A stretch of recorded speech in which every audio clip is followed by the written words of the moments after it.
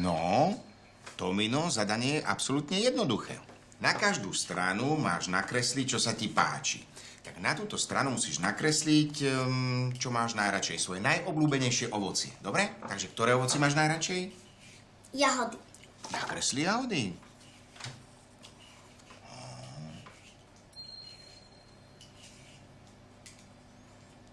No, no toto je jahoda a toto je čo? Banán.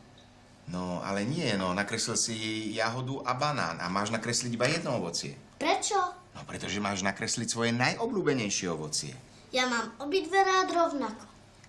Tomi, ale jedno máš určite radšej ako druhé. Nie, mám ich rovnako rád. Ale no tak to mino. Vždy máme niečo radšej, áno? Napríklad ja mám najradšej jablka a mamina má najradšej e, maliny. Ty nemáš rada jablka? Mám rada aj jablka. Ale ak by som si mala vybrať medzi malinami a jablkami, tak by som si vybrala maliny. Pretože maliny sú moje najobľúbenejšie ovocie. Ale ako mám vedieť, čo mám najradšej? No proste človek to vie. Vieš čo? Vyskúšame to inak. Tom, zavri oči a predstav si svoje najobľúbenejšie ovocie, ale môže byť iba jedno. Dobre, Vidíš ho? áno. A čo vidíš? Vidím jahody, banány a jablka. Nie, Tominko, Tomi, sústreď sa. Môže to byť iba jedno ovocie, takže zavri oči. Čo vidíš? Jahody, banány a jablka. Uh, skúsime to inak.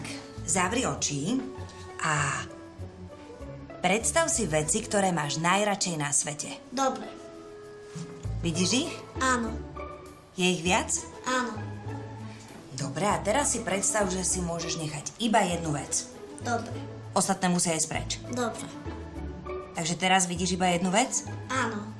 No, tak to je tá vec, ktorú máš najradšej na svete. Aha, už myslím, že som to pochopil. No super.